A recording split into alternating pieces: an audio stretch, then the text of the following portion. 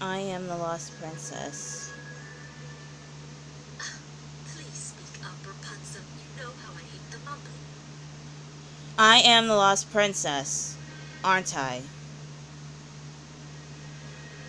Did I mumble, mother?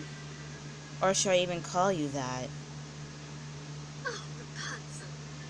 Do you even hear yourself? Why would you ask such a ridiculous question? It was you. It was all you. Everything I did was to protect you. I spent my entire life hiding from people who would use me for my power. Rapunzel! When I should have been hiding from you. Where will you go? He won't be there for you. What did you do to him?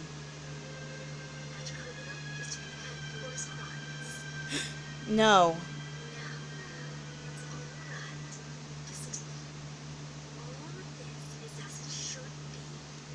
N- no. You were wrong about the world. And you were wrong about me.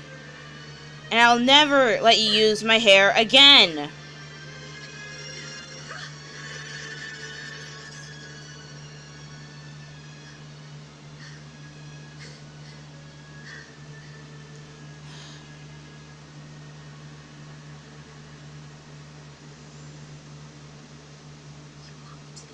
Guy?